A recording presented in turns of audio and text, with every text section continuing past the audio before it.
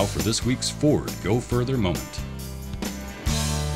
You know, there's a lot of people that have F-150 pickups that don't do anything but just look good in them and tool around town. That's great, but we use our trucks for work.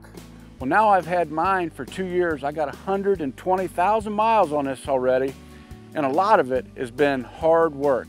They're great to drive around town. They drive like a car, but when you need the power, the EcoBoost V6 is incredible.